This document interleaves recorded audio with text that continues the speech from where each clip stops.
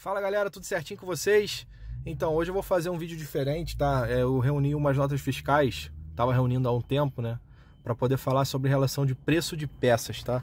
Eu juntei aqui algumas notas fiscais que eu, de algumas compras que eu fiz na, na Toyota, tá? Durante esses 11 meses aí que eu tô com o carro. E vou mostrar para vocês mais ou menos o preço de algumas das peças na concessionária, tá? Para tirar uma dúvida que muita gente pergunta, ah, as peças do Et são caras, como é que é o valor de peça e tal. Vamos lá. Vou pegar algumas notas fiscais e uns exemplos, tá? Tem algumas que são peças de desgaste, algumas é, são peças que eu troquei por conta de... Teve uma que eu troquei por conta de batida, mas eu vou explicar para vocês, tá? E vou mostrar o preço também. É, eu, tudo comprado aqui na Rio Zen, tá? Pilares, que é próximo à minha casa. Eu tapei só meus dados aqui para não, não ter problema. É, vamos lá, caixa de filtro de ar, aquela parte de baixo, 90 reais. Tá, vamos pegar outra nota fiscal aqui. São coisas que eu comprei em dias diferentes, tá? Em épocas diferentes. Eu juntei, esperei fazer um bom compilado de, de notas fiscais aqui para poder falar sobre. É, correia, Poliv, né? Eles chamam de correia trapezoidal. 118 reais. É, vela de ignição, 78 reais cada uma. São quatro. 313,68. Tá? Isso aqui teve um desconto, eu não lembro por quanto saiu, não sei se está aqui embaixo, mas teve um desconto, tá? Aqui, ó, valor total é 300, 432. Valor total que eu paguei 410, tá? Um descontinho. Aí tem mais coisa aqui, tá? Ih, tem muita coisa na verdade. Tem o valor de peças paralelas também, tá? Mas eu vou mostrar para vocês aqui. É, barra do suporte do capô. É a varetinha do capô, tá? A minha estragou.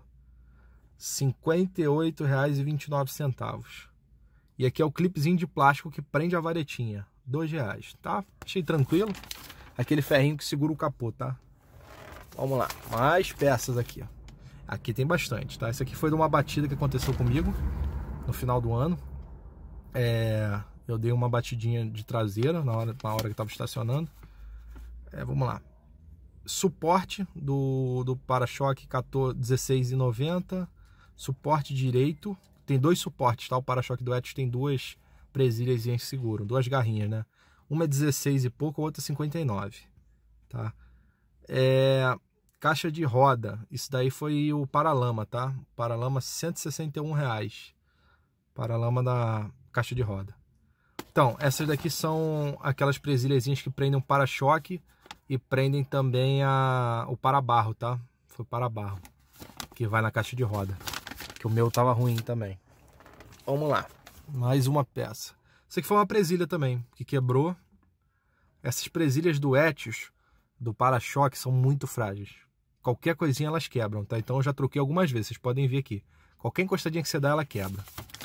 Agora vamos para manutenção um pouquinho mais salgada, tá? Essa daqui eu não comprei na concessionária. São outras notas fiscais aqui. Vou até botar aqui. Vamos lá. Parte elétrica.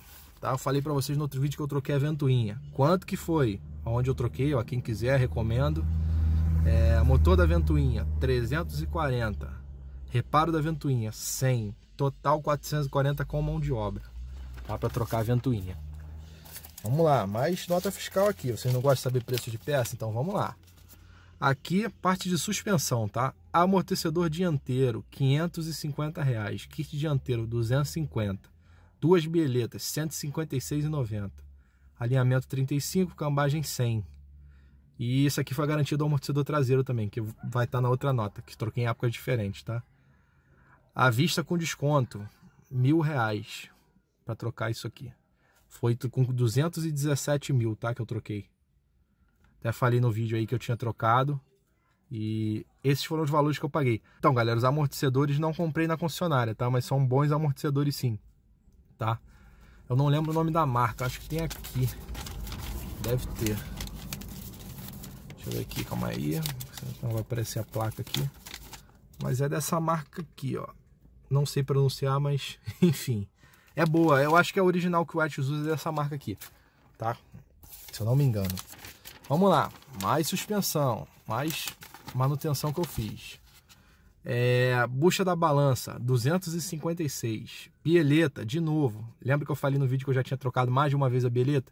Então aqui, ó, 150. Isso aqui foi numa época diferente, tá? É, amortecedor traseiro, quando eu troquei, 356 o par. Bucha do eixo traseiro. Isso daí foi que estourou minha bucha, tá? 470. Aqui quatro pneus Dunlop, tá? Que são as marcas que eu costumo usar no carro, 116,80. Balanceamento e alinhamento. Desconto à vista, é, total 2.340, tá? Incluindo os quatro pneus. Isso aqui é onde eu faço serviço lá na Bom Sucesso, tá? É, e vamos lá que tem mais nota, tá? Isso aqui que eu troquei recentemente, tá? Foi disco e pastilha, tá? Disco de freio 280 reais e o jogo de pastilha 156, tá? Troquei, não tem a quilometragem aqui, mas 441 para você trocar o jogo de disco e a pastilha, tá? Então, galera, esse é o preço de algumas peças, tá? É um videozinho diferente, um videozinho rápido, até tem outro Etsy aqui na frente. É, só para mostrar mais ou menos quanto custa os preços das peças de manutenção básica do Etsy, tá?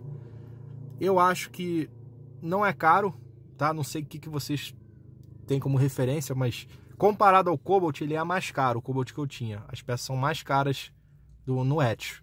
Porém, é, eu acho que o preço das peças não é tão alto tá? Dá para manter o carro tranquilamente. Aí vocês comentam aí embaixo se tem alguma divergência aí na cidade que vocês moram, se é mais barato aí, como é que é o esquema, tá? Eu tô fazendo um videozinho diferente, que a gente tá em quarentena, então não tá dando para sair muito para ficar dando rolé e tal, então resolvi trabalhar com as coisas que eu tenho em mãos, né? Que foram esses, essas notas fiscais. Eu acho que vai ajudar muita gente em relação a preço de peça, de algumas peças, tá? Foram as que eu troquei no carro, tá? Não sei de todas as peças do carro, porque eu não troquei todas. Mas enfim, galera, espero que vocês tenham gostado. Clique em gostei aqui embaixo, ó. Se inscreve no canal, a gente tá crescendo bastante aí, passamos dos 3 mil inscritos. Se inscreve aí, ativa o sininho que tem do lado do inscrever-se ali para você receber a notificação. E é isso aí, galera. Um abraço, até o próximo vídeo. Espero que vocês tenham gostado desse formato mais simples aqui, mas eu acho que foi legal. Deu para sanar muita dúvida de, do pessoal. Valeu? Abraço, até a próxima.